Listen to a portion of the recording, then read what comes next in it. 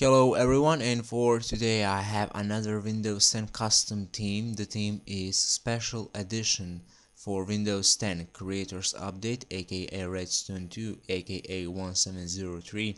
This theme is also working on Windows 10 Fall Creators Update and don't forget you need to patch your Windows 10 for using any custom theme on your Windows and how to patch Windows 10 in description below you have a link for tutorial how to patch Windows 10 for creators update. Okay we have extras here. We have desktop context menu shortcuts. If you want to add classic appearance or control panel to desktop context menu like me I have appearance and I have control panel just right click and click merge and that's it. To remove just click merge and that's it you're done. Go back we have disable immersive context menu. This is really important to do. Right click on disable immersive context menu and click merge and click yes then. After that you have to install these fonts okay select them all right click or whatever you want to install but I recommend you to select them all. Just go to right click and click on install these fonts then we have system metrics. We have to apply special edition system metrics. So right click click merge then we have system transparency which I will use a little bit later. Okay. Then go back we have team. Copy these files. Go to this PC local disk C. Windows resources themes and paste it okay go to personalize themes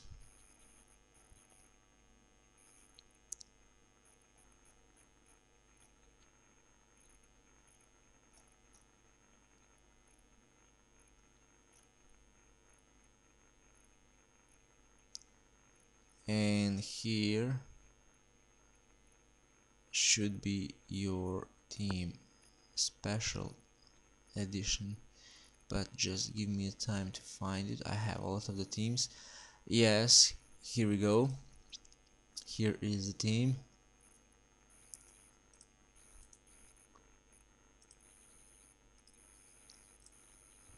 Really amazing and it is really really nice team. Look at that. It's really beautiful design. Okay now if you have StartIsBack plus plus like me and if you want to change start button open the start menu right click properties appearance and here you have a green little plus. Click on that then just find this special edition theme folder.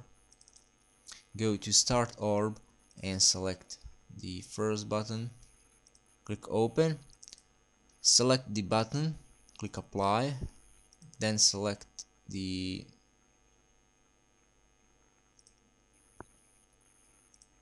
custom start menu here. Click again on again on apply and that's it. Click ok finally. Now here in extras folder we have system transparency okay? Run this application. I have it already on my desktop system transparency. Just double click on the application and application will be appear here. Right click and go to setup and info. And here first enter the number of system transparency. Then check these boxes like me these four boxes. You have option startup if you want to start up this application on Windows startup. You have more options here you have about and help and then click OK. Now you should have full glass effect on your windows or your Windows Explorers precisely. And here is a theme and it is really really amazing. Look at that. You have custom logo of Windows custom Genin logo and here on left side you have custom custom panel images with this text and it is just really really amazing and I really like this theme.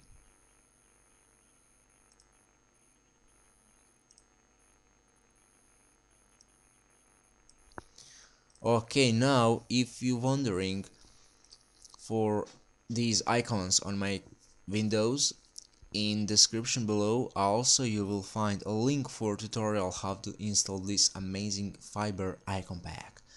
So that's it for this theme special edition. Really amazing and you will like it for sure.